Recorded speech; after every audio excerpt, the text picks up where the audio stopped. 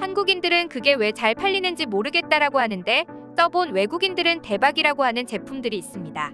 한국인들에게는 너무나 당연한 것들이 외국인들의 눈에는 신세계라고 하는데요. 우리 조상들의 지혜가 녹아있는 한국 아이템에 대해 알아보겠습니다. 지난해 미국 온라인 쇼핑 사이트 아마존에서 한국산 농기구 영주 대장간 호미가 대박을 쳤습니다. 쇼핑몰 검색창에 영어로 홈이라고 치면 우리말 뜻으로 영주 대장간에서 만든 고급 손쟁기, 한국산 수제 홈이라는 소개가 나오고 원예 관련 제품 판매 중에 탑10에 들어갈 정도로 인기입니다. 국내에서 4,000원 가량인 이 호미는 아마존에서 14.95에서 25달러, 원화로 따지면 16,000원에서 28,000원으로 국내보다 5배 정도 비싸게 팔렸음에도 불구하고 2,000개 이상 불티나게 팔렸는데요. K-팝에 이어 K-호미가 한국을 세계에 알리는 효자 상품으로 취급되고 있습니다. 손삽만 쓰던 외국인들에게 기역자로 꺾어진 호미는 그야말로 혁명이었습니다. 기존 손삽은 긁어내고 파내고 덮는 용도로 쓰기에 어딘가 아쉬운 점이 많았는데 호미가 그걸 보완한 것입니다. 조금만 힘을 줘도 쉽게 땅을 팔 수 있도록 말이죠. 특히 해외 가드닝 유튜버들에게 극찬을 받았는데요. 30도 휘어진 날은 미국 어디에서도 찾을 수 없다. 홈이 쓰기 전에는 정원을 어찌 왔는지 의문이라는 구매평이 쏟아졌습니다. 추가로 몇몇 구매평을 번역해서 소개해드리겠습니다.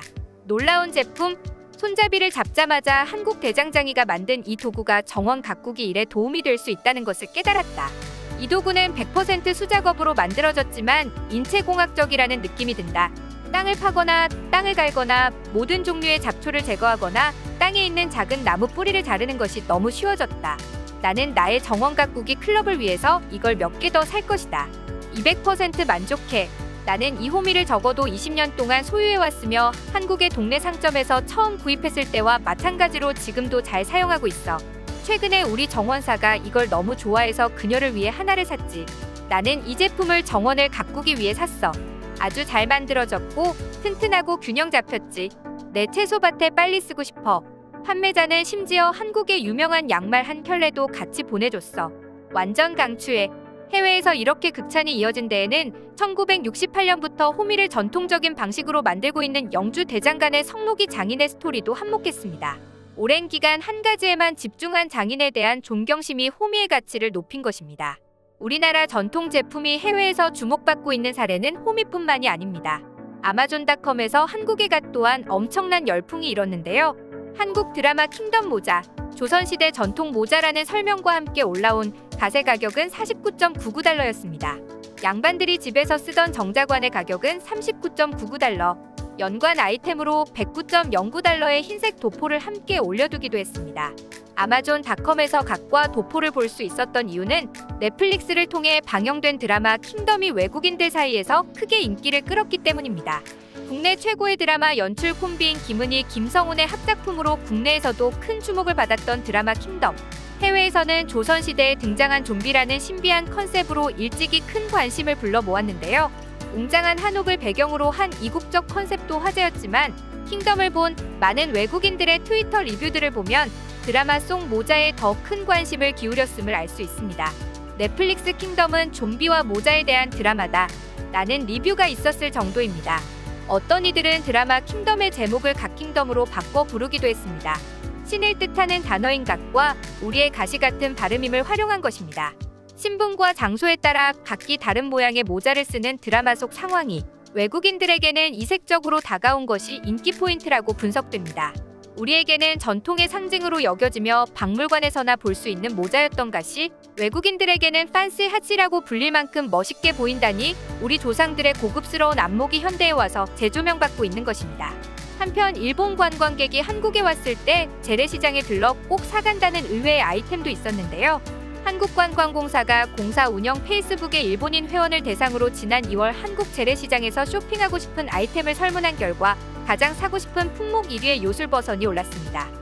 요술버선은 지난해 겨울부터 일본인 관광객들에게 유행하기 시작했는데요.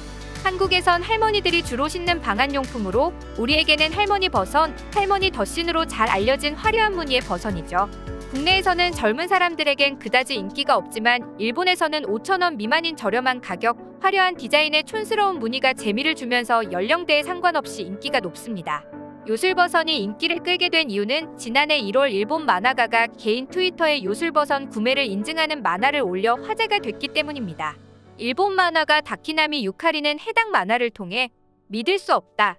터무니없는 따스함이 온다. 한국인 여러분, 이렇게 훌륭한 것을 어째서 지금까지 가르쳐 주지 않았습니까? 나는 유쾌한 대사와 함께 요술버선의 따뜻함을 극찬하고 있습니다. 우리가 촌스럽다고 팔지 않는 호랑이 이불 또한 아마존에서 대박이 났습니다. 커다란 호랑이가 살아 움직일 것만 같은 밍크다며 어릴 적 할머니 댁에 가면 볼 수 있었죠. 80년대에 많이 사용하던 침구였는데요. 주로 인조 모피 또는 벨벳 재질로 가격 대비 넉넉한 크기, 높은 보온성이 장점인 다묘입니다. 서울의 전통시장에서도 보기 힘든 이 밍크 다묘가 아마존에서 코리안 밍크 벨벳 이불이란 이름으로 국내 가격의 두 배인 9만 원에 팔리고 있습니다.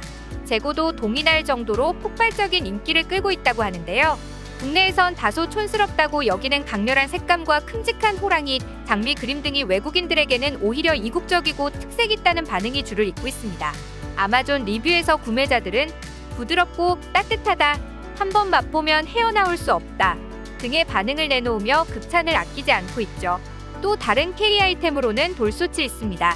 Korean 돌솥이라는 이름으로 판매되고 있는데 한 해에 6천여 개가 팔렸을 정도로 인기를 끌고 있다고 하는데요.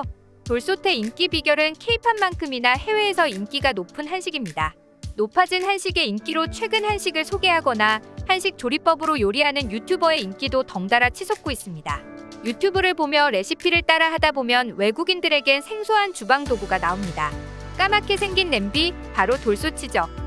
이런 유튜브로 한식 조리법을 따라하는 외국인이 늘면서 돌솥이 입소문을 탔습니다. 구독자가 587만 명에 이르는 인기 한식 유튜버 망치의 돌솥 비빔밥 조리 동영상은 무려 1320만 회의 조회수를 기록할 정도로 폭발적인 관심을 받고 있죠.